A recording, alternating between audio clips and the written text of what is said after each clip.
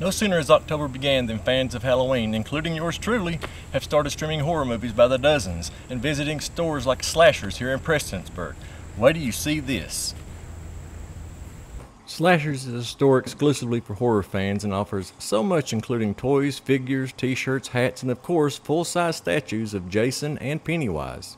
Well, I had like a thrift store in here before, and then I dabbled in some of this stuff, and I seen how much people liked it. They liked it as well as me, and so I like let's just go for it. Let's just switch it and see where it goes.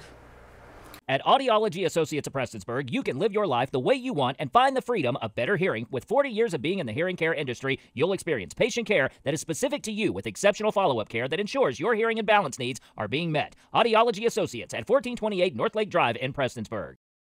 Sabrina's idea to open Slashers came from an early love of horror movies that has never diminished in the years since. This kind of stuff. And me and him, every October, it was our thing to watch scary movies. And now my grandsons, they're into it and they really enjoy it. Everybody in Prestonsburg and all around Prestonsburg seems to enjoy um, coming in and shopping. Pretty impressive, huh? Absolutely, and Sabrina and Terry are more than ready to offer fans any Halloween favorites that you can imagine. So come see them at Slashers here at 1040 South Lake Drive in Prestonsburg.